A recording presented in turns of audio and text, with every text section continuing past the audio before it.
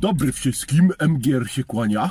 Uch, Passat Tadzik śpieszy na pomoc Staszkowi. Tak, jedziemy pod garaż. Może uda mi się tam paru ludzi wziąć, to by mi pomogli Staszka wepchać do garażu. I już zwolni się miejsce z moich zjebanych samochodów. Panie i panowie, w weekend albo w piątek, albo w sobotę po godzinie 16 załatwiamy z właścicielem formalności odnośnie Passata Gleisberga. Tak, zobaczymy co z tym Passatem wyjdzie. Mam nadzieję, że będzie dobrze. I wobec tego, jak tak to wszystko wygląda, to będziemy sobie właśnie Passatka ściągać. Jeszcze się przes, prześpię z 2-3 razy z tym, czy będę go naprawdę rozkręcał, czy nie. Czekajcie, muszę coś zobaczyć. Muszę poprawić lewą lampę, bo trochę nie świeci. Dobra, to co? To wobec tego jedziemy pod garaż, panowie. Weźmiemy Staszka. O. Zaraz telefon spadnie, bo leży tak sobie, o. Tak na upadnięciu. No nie, jednak się trzyma. Bardzo fajnie, bardzo fajnie. Widzicie brudny blat, tak? Troszkę, troszkę zakurzony. Trzeba go zaraz wyczyścić. I plan ambicjonalski jest następujący. Przez zimę Staszek zostaje w garażu. Będę go dubał najprawdopodobniej do wiosny. Przede wszystkim nie śpiesząc się z niczym. Robić sobie go na spokojnie. Klaus pojechał na urlop, wraca 21. No i tak mam z nim dogadane, że klucz będę miał też od stodoły, także będę mógł sobie o każdej porze dnia i nocy wchodzić do stodoły, żeby sobie właśnie albo ewentualnie jakąś część brać yy, z Gleisberga, albo ewentualnie wchodzić i przepalać ogrodnika, bo ogrodnik trafi do stodoły gdzieś tak na pół roku i na przyszłą wiosnę myślę, że go trochę pomaluję. Byłoby fajnie. Zobaczymy, co z tego wyjdzie. No i co? I żeby Was zaciekawić kolejnym jakimś ciekawym materiałem, no to mam nadzieję, że chyba w weekend coś będzie. Mam nadzieję. A z odbiorem dopiero po 21, jak właśnie Klaus wróci i Sodoła będzie już z powrotem otwarta. Bo tam jeszcze inni też wynajmują. Kurde, że on mi nie dał tego klucza przed wyjazdem na urlop, bo jeszcze akurat zdążyliśmy sobie papiery poustawiać dzień przed jego wyjazdem. Ale dobra, no najwyżej skończymy. Najwyżej poczekamy do 21 i eee, się wpierdalasz, kurwa, ja jadę pierwszy. No i tego. No i wtedy będę miał dostęp normalny i będziemy najwyżej ściągali Gleisberga sobie do dubania. Albo do dubania, albo na części, jeszcze zobaczymy. Zobaczymy co tam ogrodnik jeszcze będzie potrzebował.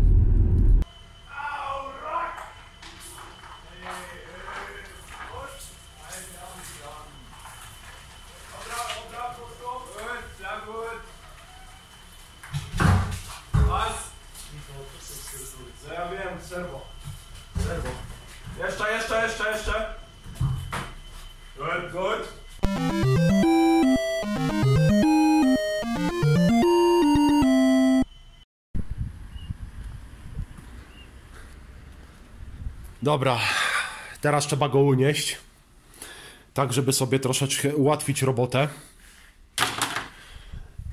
Tu jest ten lewarek fabryczny, ale masakra, ten lewarek naprawdę potrafi chyba czynić cuda. Ten patrząc tutaj w tym miejscu. Yy, No jest gdzieś, o, gdzieś tyle jest od ziemi. Tak by trzeba było go unieść, żebym też mógł dobrze się tutaj pod spód schylić. W razie czego spróbuję go jeszcze trochę unieść, ale on jest kurwa ciężki, ja pierdolę. Kto takie Mercedesy kurwa wymyślił? No ale dobra, stoi w stabilizacji. Teraz bierzemy lewarki i podnosimy go z tej strony. Ale kurde stoi, żeby, żeby mi nie dupnął. Słuchajcie, to już nie jest Passat. Ten jak się przewróci, to już będę potencjalnym kebabem, ale na szczęście mam tutaj zabezpieczeń trochę. Dobra, to unosimy go z tej strony i zaraz pokażę Wam jak. Po tej stronie wpychamy te dwa lewarki i tymi dwoma lewarkami naraz będę go podnosił z tej strony, bo tam już jest stabilnie. To teraz z tego złapiemy. Tu jest taka, zobaczcie sobie, taka podporka, bo normalnie ten plastik się ściąga i tu się wkłada lewarek taki, który jest właśnie po tamtej stronie. I myślę, że chyba za tą podporkę będę mógł złapać. Mam nadzieję takiego. Oby kurde tak.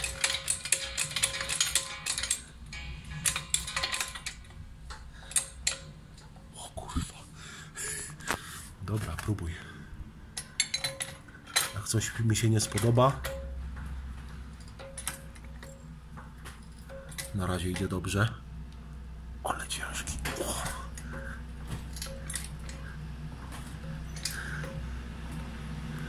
Dobra, podporka się nie wgniata, czyli jest chyba dobrze. Kurwa, pierdolnie tak.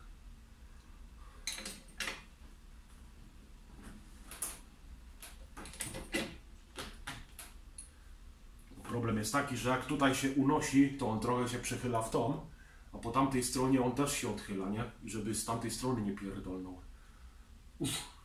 Dobra, na tej stronie jest praktycznie finito. Tak trochę tego, ten lewarek tak ciut się przekrzywił w tą stronę, ale mówię, ten już jest ten już jest akurat na maksa wydłużony. Chyba, że coś jeszcze podstawię pod niego. A opuścimy i coś, coś podłożę. I tak chyba będzie najrozsądniej. Myślę, że poduszka amortyzatora się przyda. To jest poduszka amortyzatora z ogrodnika. O, coś takiego właśnie, bo to pasuje w sam raz na ten lewarek. I teraz tak natrafić właśnie, żeby weszło tutaj w to. Wiecie o co chodzi? Zobaczymy, czy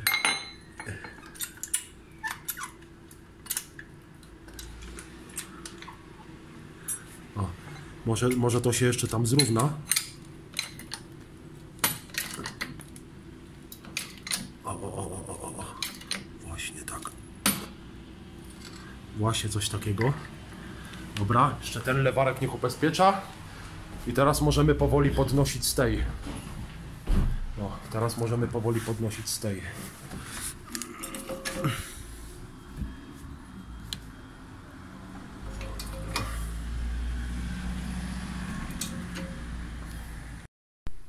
No jest już trochę uniesiony, ale jeszcze trzeba trochę popróbować. O i właśnie coś takiego, bo jak tu się unosi i lewarek delikatnie się posuwa w tamtą, to fajnie się wyrównuje wtedy, nie? Coś takiego. O, a tutaj widać ta... Tego jest... Nie wgniotła się, nie? Jeszcze z parę centymetrów. O kurwa. Dobra. Idziemy teraz tam zobaczyć. Uch. Ale kurwa, tryki, patyki, dywany, guziki.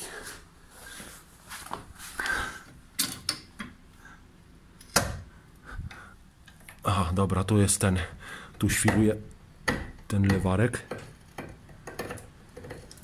Dobra. Teraz trzeba, trzeba go ładnie zrównać. Zrównamy, tak. On tu niech zostanie sobie w tym. Niech będzie dodatkowe zabezpieczenie.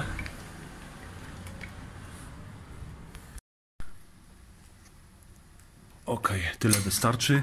Ten trzyma, ten trzyma. Dobra, o. Tu jest stabilnie. Znowu tu wracamy.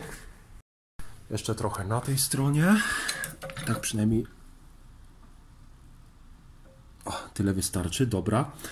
Teraz sobie wyjdę na zewnątrz. Tak patrząc z takiej perspektywy, to prawa strona jeszcze jest trochę niżej od lewej i trzeba będzie zaraz to jeszcze troszkę poprawić. Dobra, teraz bierzemy kolejny lewarek i użyję sobie takiej oto, o, takiej można powiedzieć podkładki metalowej na ten lewarek i będziemy unosić na prawej stronie. Tak, tutaj dwa lewarki już go złapały i teraz idziemy na tamtą, żeby tamten lewarek wspomóc. O, właśnie tutaj. Tu go gdzieś tam zanurzę, za coś go tam złapię. I trzeba zabezpieczyć dobrze. Ale kawał bydła, masakra. A słuchajcie, to jest jeszcze i tak najlżejsza jego wersja. Z tego względu słuchajcie, że S600 są o wiele cięższe tutaj od 320. Nie wiem co to jest tutaj, nie wiem czy mogę za, nie wiem, czy mogę za to złapać, na przykład tutaj. E, tak, to się tego trzyma, dobrze. Ale dobrze się tego trzyma, to świadczy o tym, że blacha tu jest zdrowa, bo inaczej to by się wgięło i, i, po, i po zawodach. Coś mi się wydaje, że tym lewarkiem złapiemy tutaj za kołyskę. Za tą kołyskę, słuchajcie, tu. O, w tym miejscu, nie? Tak tutaj, na tym. Tylko też muszę uważać, bo tutaj są dechy, nie? Ale dobra. To już tam najmniejszy pikuś. Kręcimy sobie tym lewarkiem. Nie wiem nawet skąd mam ten lewarek, ale on chyba był w tym. On chyba był w pasacie tadziku. Tak mi się wydaje. To damy sobie na równo. No, myślę, że w razie czego ta podłoga by wytrzymała, ale no na tym byłby pewny tutaj na tej szynie metalowej. No nic, dobra, postawię go tutaj.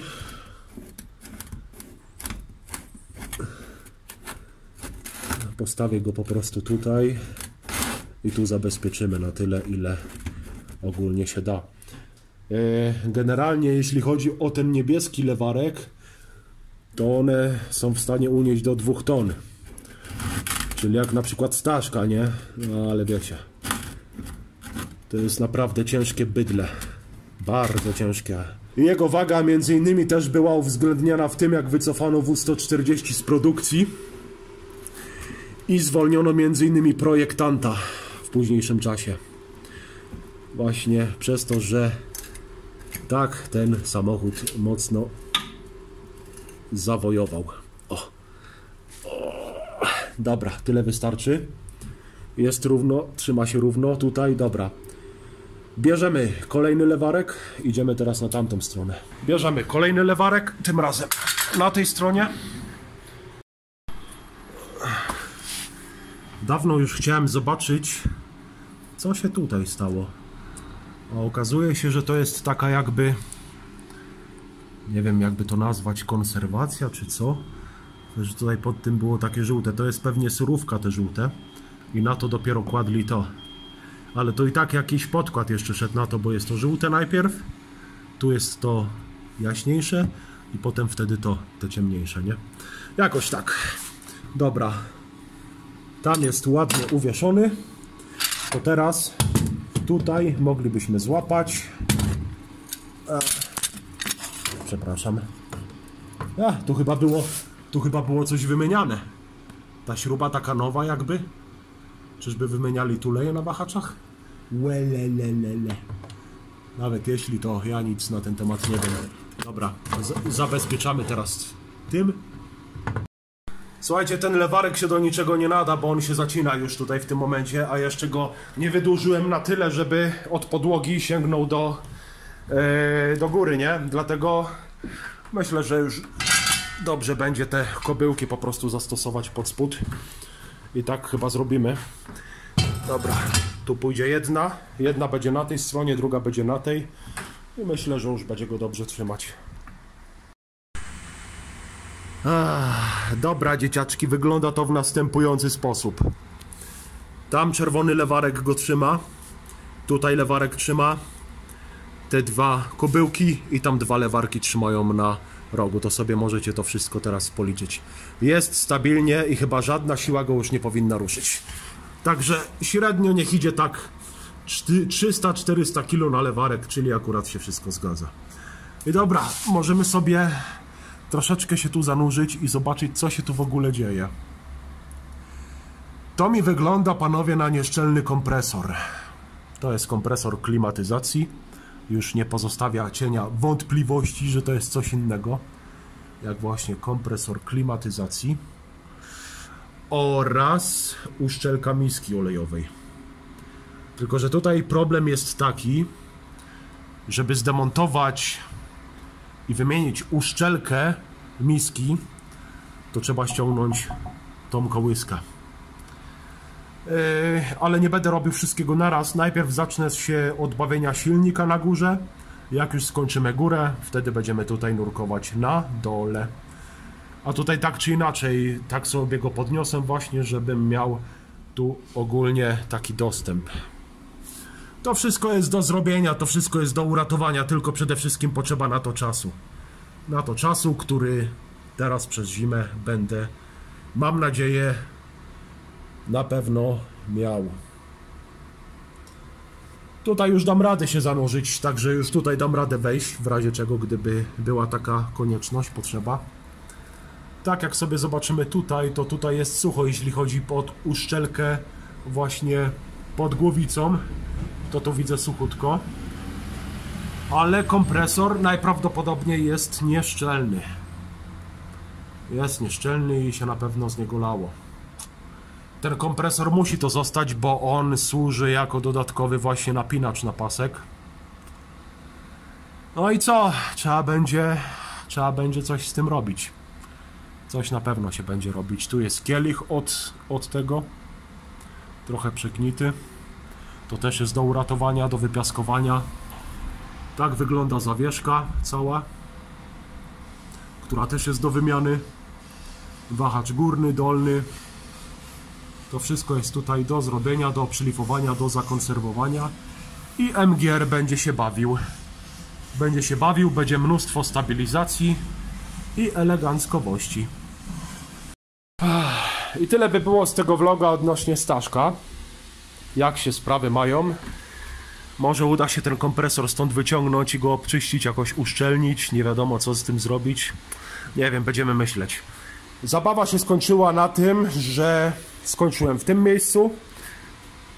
Teraz od spodu będzie można się dostać do kolektora, go odkręcić. Dzisiaj już w tym odcinku nic nie będę robił, ale na razie zapowiadam, co się ogólnie dzieje. I wpierw tutaj. Najpierw tutaj, a potem reszta na dole. Dobra, ja muszę lecieć. Wobec tego tyle w dzisiejszym odcinku. Taki partyzancki odcinek, ale przynajmniej widzowie Staszka i jego kibice mogą coś w tym wideo sobie ciekawego na pewno obejrzeć.